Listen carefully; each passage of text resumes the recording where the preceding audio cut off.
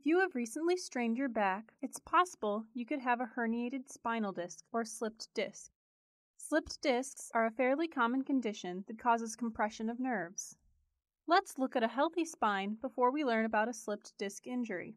The bones of the spine are called vertebrae. They protect your spinal cord, help you stand or sit up straight, and allow your back to bend. They move around with the help of spinal discs.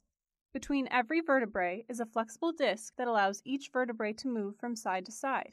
The discs also protect the spine from injuries caused by impact. The spinal cord runs through a tube created by the stacked vertebrae and has small sections that branch off called nerve roots. Now we'll take a closer look at each spinal disc. The annulus fibrosus is the outer layer. This layer provides stiffer support and surrounds the inner layer, the nucleus pulposus. This layer is pulpy, which is useful in absorbing pressure and spreading it out into the annulus fibrosus. Very early in your life, you have lots of blood vessels running through your spinal discs.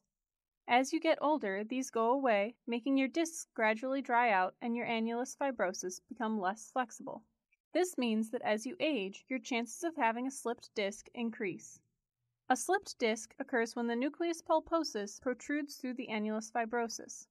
If the disc bulges enough to push against the nerve roots, you may start feeling symptoms like tingling, numbness, pain or a burning sensation, or weakness in your muscles.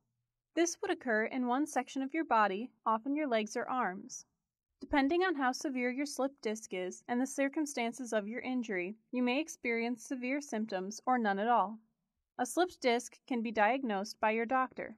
They may use a physical exam, CT scans, or MRI scans to determine the severity of your injury and what treatment should be used.